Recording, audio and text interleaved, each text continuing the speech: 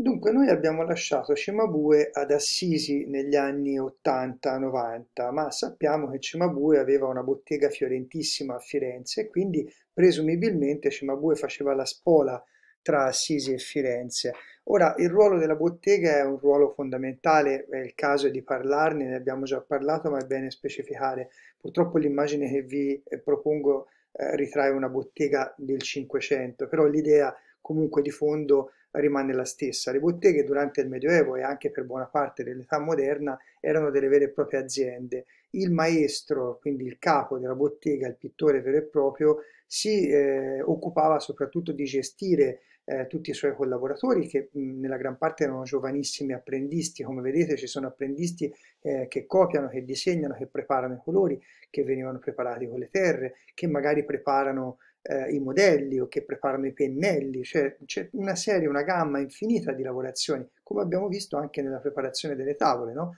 eh, andavano sagomate, pulite, eh, messe insieme, in qualche modo bisognava preparare appunto l'imprimitura, la preparazione, la doratura, quindi veramente una grandissima quantità di attività e il caposcuola, il maestro, eh, interveniva soltanto nella fase della pittura vera e propria e non sempre tra l'altro nella pittura integrale delle opere, perché esistevano cartoni di proprietà della bottega e alcune opere venivano replicate. Come vedete in questo caso sullo sfondo si vede un giovane apprendista che sta facendo il ritratto a, a una signora, quindi alcune delle opere venivano lasciate agli artisti migliori e poi il, il, il caposcuola, il maestro, interveniva eh, in qualche modo a gestire, a sistemare eh, l'opera eh, completa, in questo caso lo vedete al centro che realizza eh, una, una, scena monumentale con San Giorgio che uccide il drago. Noi abbiamo già visto cose di questo tipo, mm, in realtà noi abbiamo visto che Nicola Pisano, per esempio, nel momento in cui fa realizzare, realizza e fa realizzare il pulpito del Duomo di Siena, eh, fa realizzare grandi pannelli, molte, mo, molta parte di questi pannelli ai suoi collaboratori, in particolare al figlio Giovanni Pisano e Arnolfo di Cambio. Quindi il suo ruolo è quello di appunto caposcuola, capocantiere, eh, controlla, guarda, fornisce modelli, stabilisce quello che si può e quello che non si può, ma non mette direttamente sempre solo lui lo, lo scalpello sulla, sulla, pietra. Lo stesso farà nel 600 Bernini. Bernini realizza opere eccezionali che in realtà eh, materialmente non sono quasi per niente realizzate da lui. Pensiamo, eh, non lo so, a, a, al baldacchino di San Pietro, per esempio, che viene realizzato quasi interamente da, da Ercole Ferrata e, e da Raggi, no? per dire. Quindi esistono, questa è una pratica assolutamente comune. Eh, il pittore andava, in questo caso Cimabue, tornava a Firenze, controllava le commesse, guardava quello che andava realizzato eh, e in qualche modo interveniva in una serie di, di dipinti. Andando a Firenze però portava anche le novità, le cose che aveva conosciuto appunto ad Assisi, a Roma, quello che aveva visto anche eh, rispetto alle opere d'arte realizzate dai suoi eh, colleghi, dai suoi contemporanei. Eh, in questa immagine vi faccio vedere per esempio la cosiddetta Madonna del Louvre, eh, la vedete sulla destra, si chiama Madonna del Louvre perché oggi è conservata al Louvre, ma eh, fu realizzata per la chiesa di San Francesco a Pisa, eh, qui siamo appunto eh, un pezzo avanti, siamo già nel 1280 e vedete che la vicinanza di questa Madonna col suo eh, modello di poco precedente realizzato appunto o comunque contemporaneo realizzato a Assisi ancora negli anni 80 è evidente, cioè come se si trattasse dello stesso cartone, eh, anche se il modello su tavola è ancora più spinto, in qualche modo riesce a raggiungere un livello eh, superiore, ci sono già ancora più novità, novità eh, che sono ancora più evidenti se paragoniamo questa tavola alla tavola di Coppo di Marcovaldo, l'abbiamo già fatto eh, nel caso dell'affresco, vedete proprio la distanza ormai è, eh, è evidente, da una parte c'è un linguaggio completamente bizantino, dall'altra parte c'è un linguaggio bizantino che però cerca degli effetti di realtà. Quali sono questi effetti fondamentali che vengono che vengono cercati. Una maggiore ricerca di tridimensionalità nella struttura del trono, eh, l'abbiamo visto, no? è un trono messo di tre quarti e quindi sporge in qualche modo, anche questo l'avevamo già visto eh, ad Assisi, eh, una prima intuizione di prospettiva, quindi soprattutto nell'idea degli angeli che vengono posti uno dietro l'altro e eh, vi invito a notare che gli angeli sono posti in maniera ponderata, due angeli guardano verso l'esterno, quelli più in basso, gli altri guardano verso l'interno. Quindi diciamo c'è una volontà di porre questi angeli che sono ancora incollati uno davanti all'altro, però non sono più uno sopra l'altro, staccati come nella tradizione bizantina, ma sono posti uno di fronte all'altro. quindi con un'idea di scalatura nello spazio che dovrebbe suggerire una certa tridimensionalità.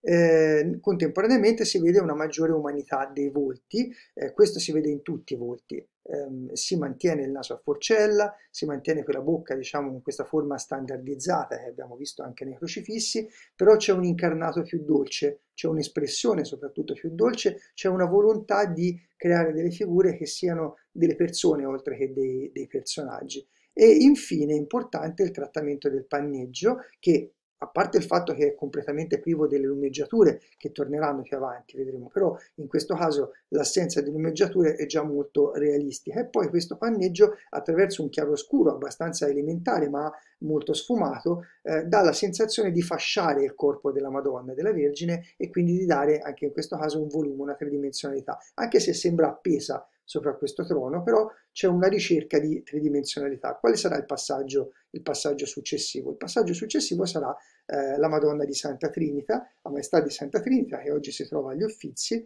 che vedete in questa slide sulla destra, e che è un'opera del 1290-95, quindi siamo già in una fase eh, molto più avanzata. Il confronto fra le due opere vi fa vedere già la differenza.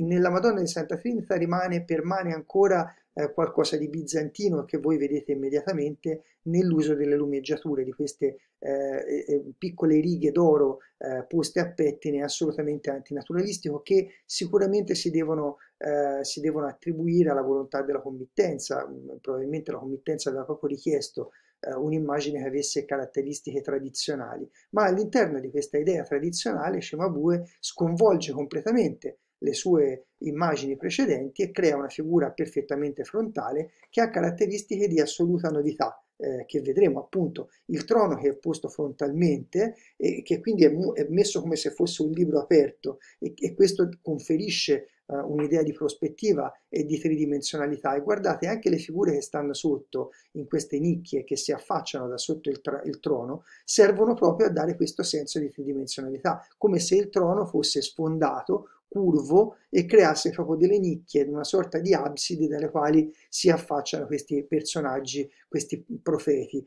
Eh, nello stesso tempo vedete quindi l'apertura al libro e questi elementi circolari, curvi, che danno un senso di, di profondità. Nello stesso tempo c'è eh, la veste della Madonna, che noi abbiamo detto ha questi elementi bizantini nelle lumeggiature, in compenso però ha un andamento che non ha più niente di lineare, cioè non si sta cercando un andamento decorativo, ma si sta cercando di dare il senso della eh, realtà. Come si fa? Si fa ponendo le pieghe della veste a V, cioè la veste che cala dai, dalle ginocchia della Vergine e compie proprio una V, vedete? Creando uno spazio che è quello che accoglierà appunto il bambino che è posato su un ginocchio, ma a questo punto sta in una nicchia, che è una nicchia vera, cioè un volume vero. E bisogna fare attenzione a questa cosa del volume, perché la pittura di Cimabue sarà sempre una pittura di massa, di volume, e non c'è più la ricerca lineare, la ricerca di superficie. Quello che manca in Cimabue, quello che Cimabue ha, abband- ha abbandonato, è la ricerca di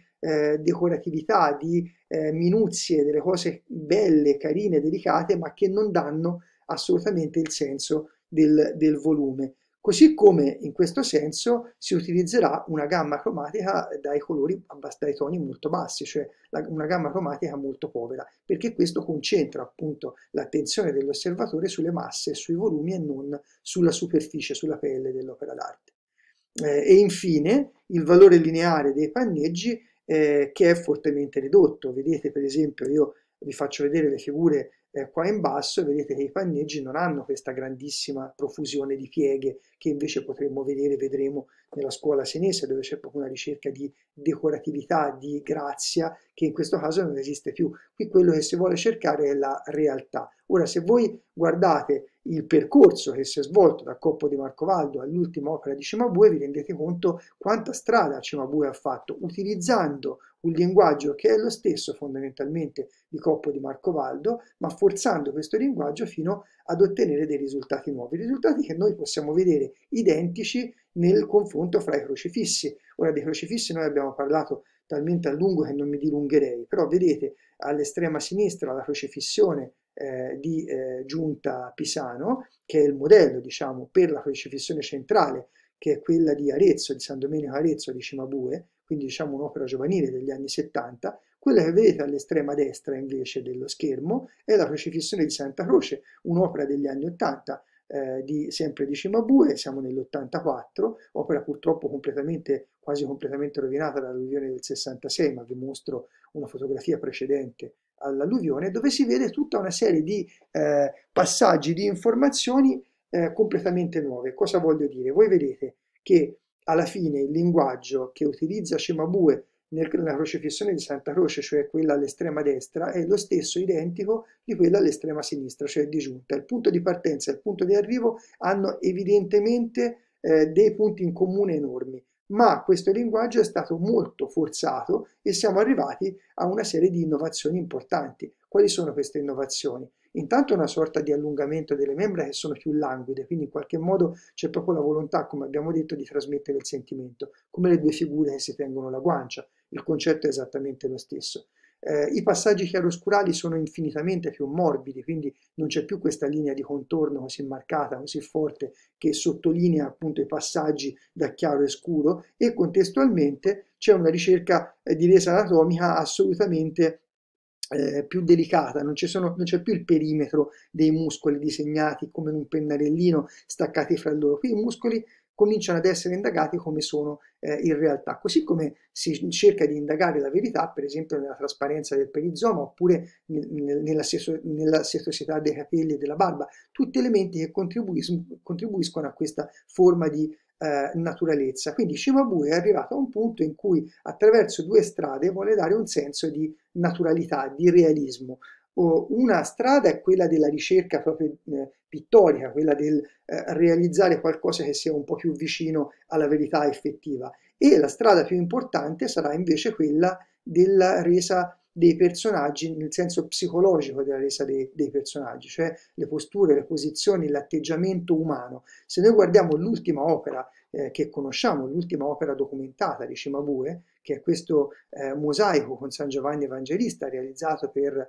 la zona absidale del Duomo di Pisa, eh, vediamo proprio questo, cioè qui siamo all'interno di, un, di, una, di una tecnica che è quella del mosaico che ci fa gioco perché noi sappiamo perfettamente che il mosaico è una tecnica rigida, per definizione il mosaico è una tecnica rigida, dove è molto difficile fare il chiaroscuro, dove è molto difficile esprimere il movimento. Quindi il mosaico, che infatti era una tecnica mh, perfettamente dominata dai bizantini, dall'arte bizantina, se vi ricordate i mosaici di Ravenna, avrà una, una postura, una posizione molto bloccata, molto ferma. Ecco, Cimabue alla fine del suo percorso riesce a dare vita, vitalità, movimento, chiaroscuro, tridimensionalità anche a, figure, a questa figura che è fatta in mosaico, quindi riesce a vitalizzare anche il mosaico. E questo perché? Non solo da un punto di vista tecnico e formale, ma proprio da un punto di vista, per esempio, dell'espressione di questo personaggio, dell'anguore di questo personaggio, della posa, dello sguardo, della composizione chiaroscurale. Cioè la ricerca di Cimabue è volta tutta a dare vita a delle figure bizantine che erano figure rigide, in qualche modo, in qualche forma, figure eh, astratte, figure morte in qualche modo, ritagliate. Lui prende quelle figure con quel tipo di figurazione, cioè utilizzando la stessa figurazione dell'arte bizantina,